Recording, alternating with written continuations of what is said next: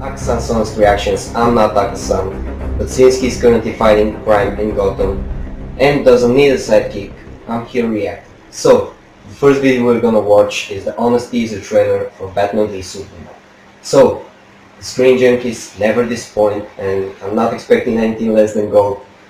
And by the way guys, I know I know that the trailer had a lot of controversy. I mean, some people loved it, some people hated it, but I gotta be honest, I loved it. I personally loved the trailer, and it was just like the Man of Steel movie. I mean, a trailer divided audiences. But yeah, let's check the honest teaser out.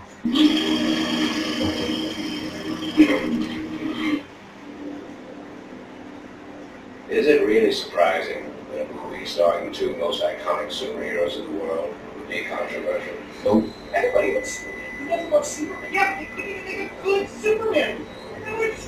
And then we're scrapping the whole thing. DC has a horrible track. Green Lantern? Come on. Oh, Dark Trilogy. Christopher Nolan's totally involved in these. Just like the YouTube comment section there. Ant-Man looks stupid. And they're fighting like, holy shit. Well, stop with the brooding. The only one who gets to brood is Batman. They can't all be brooding. Maybe Zack Snyder's just a guy trying to make a good movie. It looks like Thunder Punch. Oh, oh. Yeah, in the comment section. That's how it started. Warner Brothers casting Ben Affleck as Batman that turned fanboys cruel and true. Boys, get ready.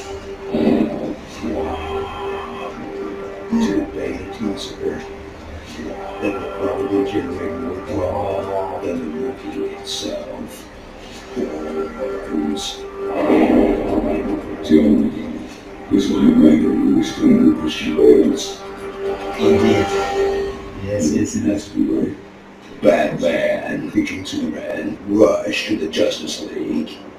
That's so true, bro. Eh, Shush up, Mark. You're just saying that because the Star Wars trailer is so awesome. It's like a year till the movie comes out. Give it time. Just say it. Well, that Okay. Okay. You want more? A short teaser. So, that shit was true. I mean, the trailer is probably gonna create more controversy than the movie itself. But then again, as the as the narrator said, it's Batman and Superman, the, the two most iconic superheroes in the world. So that's that's not surprising at all. I'm interested, guys, because you're one of the best fan bases, the the Red Dreaded Nation. I'm interested. What do you think about it? Do you like the trailer? Do you hate it? I mean, as I said, divided audiences. I know Akasan is not that big of a fan of the trailer. But yeah, that's it for now. The Prince of Reactors ascending to 100,000 subscribers. Bye! and I'll miss you guys for sure. But dun, dun, dun. I'll be back. now let me fuck my maid.